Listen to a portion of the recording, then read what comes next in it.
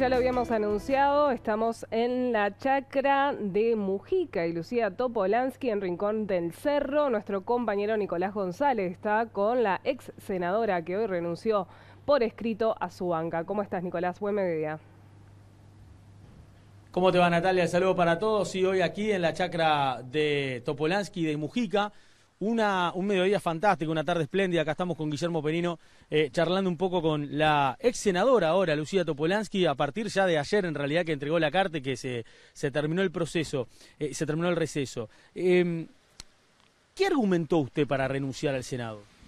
Bueno, yo hacía 22 años que estaba en el Parlamento y cuando ingresé, yo ingresé con el gobierno de Valle. Yo ingresé también en una circunstancia difícil porque tuve que suplir al titular de esa banca que, había fallecido antes de asumir, que era el compañero Cuartino. Este, me propuse hacer un despacho de puertas abiertas y en mucha relación con la gente. Y lo hice así todo ese tiempo. Estos dos últimos años para mí fueron un castigo, porque no pude estar al lado de la gente, no pude hacer cantidad de cosas, no me adapté al Zoom, eh, es más, lo detesto debía decir la verdad. Y, ¿Y qué pasó? Que me daba cuenta que representar es una cosa muy seria. Yo no sé incluso eh, si realmente logramos representar todo lo, lo variopinto que tiene la responsabilidad de cada legislador, ¿no? Entonces, este, siempre había puesto todo dentro de mi leal, saber entender mis capacidades, todo lo que podía. Ese era mi compromiso, pero yo, ya este año no lo pude cumplir. De alguna forma en lo político, eh, pudo haber incidido también, eh, bueno, que se entienda que por ahí también hay una, una mayor grieta también en lo parlamentario, en la discusión parlamentaria de los senadores.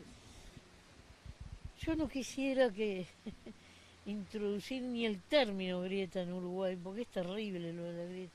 Lo que veo es que está tenso el ambiente está, está, está raro. De todas las legislaturas que yo estuve, es la, la más distinta. Y además hay un, la política está centrada en la torre ejecutiva. El rol del Parlamento lo veo que quedó un poco de costado. Y yo creo que el Parlamento de los tres poderes es el más importante justamente por el carácter representativo que tiene. Allí los que llegaron, llegaron porque hubo votos que los respaldó, nada más. Entonces, este, eh, yo veía que no estaba cumpliendo eso, voy a cumplir 78 años este año además, y, y este, fracasé, y creo que puedo hablar en plural, fracasamos con, con mi colega Penadel, los dos negociábamos para la integración de, de los órganos de Contralor, de la Suprema Corte, del Tribunal de los Contenciosos Administrativos, de la Corte Electoral, del Tribunal este, de, la, de la Fiscalía de Corte, todos esos cargos que precisan mayoría especial. Y no porque no hayamos trabajado, y me consta, y le agradezco, y agradezco públicamente a Penades porque sé que se rompió el alma, yo también me la rompí, trajimos propuestas de los dos lados, pero no, no, no destrabamos, no pudimos destrabar. Algo de una mano, en un momento dado, de una mano Beatriz Argemón, pero y eso es penoso, no había pasado desde que yo estoy en el Parlamento. Entonces yo me voy con esa frustración inclusive, ¿no?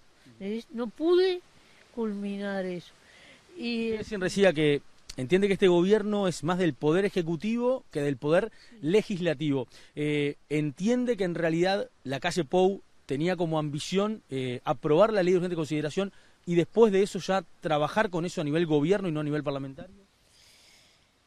Yo no, no sé si, yo no le acudí con ninguna intención. Yo lo que veo es, el, resultado electoral de noviembre fue con 30.000 votos de diferencia hubo una diferencia pequeña. Como Uruguay, por suerte, políticamente civilizado, acá no hubo un escándalo como en Perú, ¿no?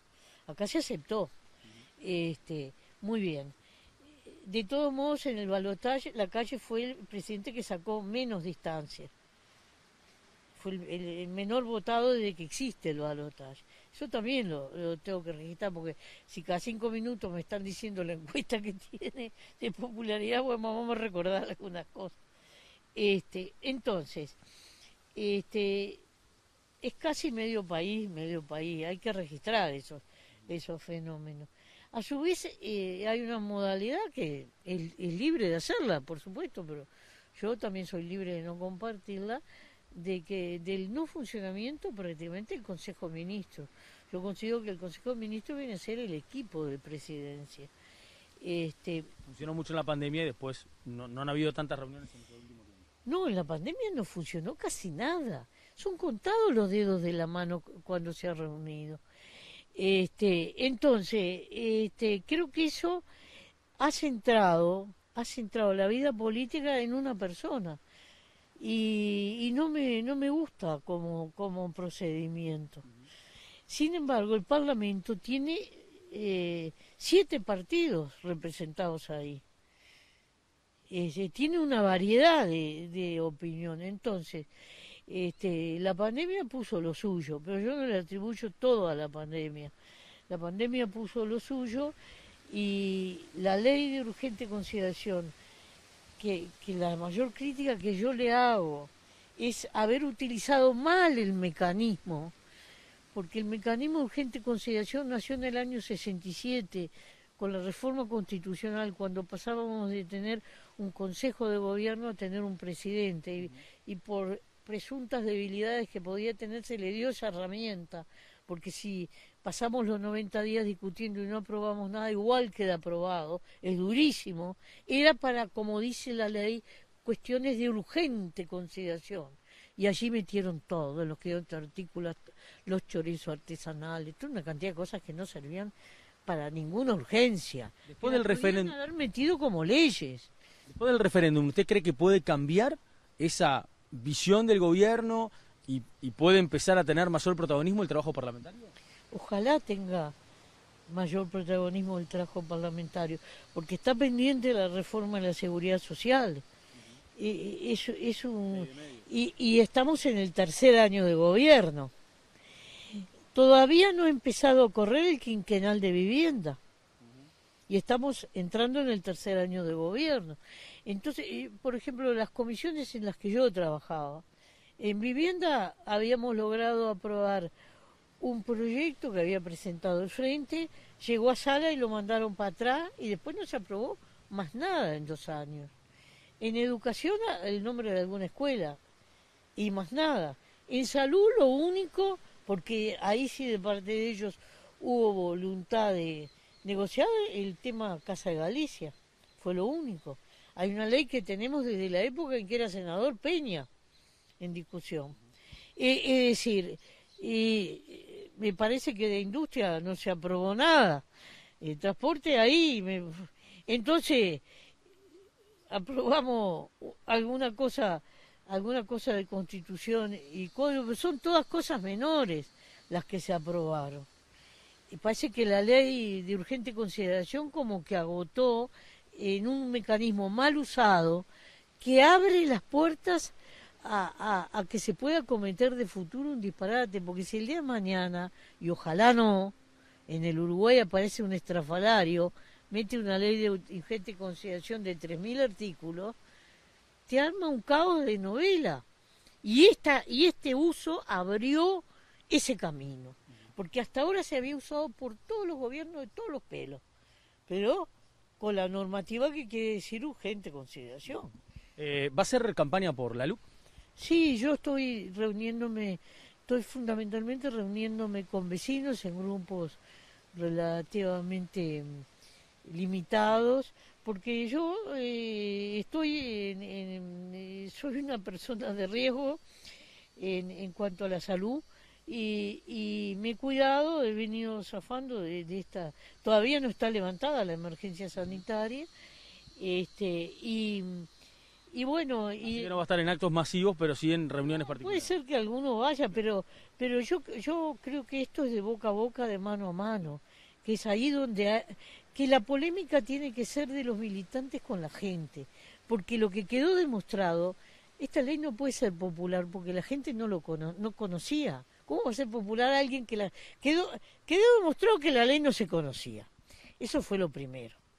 Y cuando nosotros le pedimos a la gente, juntando la firma, que era necesario para que se conociera la ley, para que se diera la discusión, teníamos razón. También lo demostró la vida, porque capaz hubo gente que firmó para habilitar la discusión. Y ahora tuvo que salir todo el mundo al ruido de las explicaciones.